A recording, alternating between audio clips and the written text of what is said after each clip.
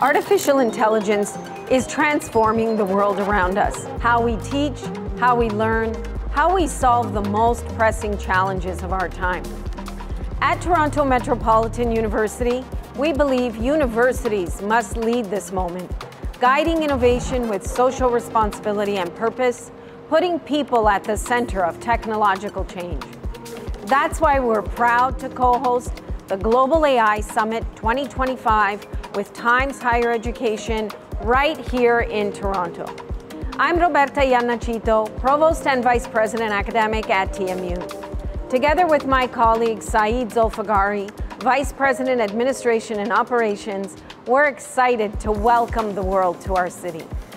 This year's summit, themed AI in Higher Education, Balancing Innovation with Social Responsibility, will bring together diverse voices and leading minds from academia, industry, and policy to explore AI's greatest opportunities and most complex challenges.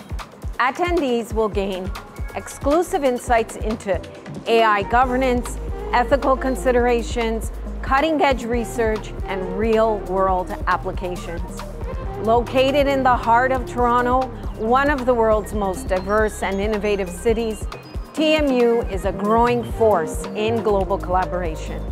Our work lives at the intersection of innovation, education, social impact, grounded in community, powered by research, and focused on the future.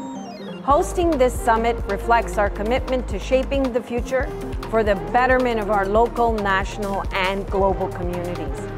The Global AI Summit is a call to connect, ask hard questions, share bold ideas, and to imagine what's possible and make it real. We look forward to welcoming you to Toronto and to the conversation this fall.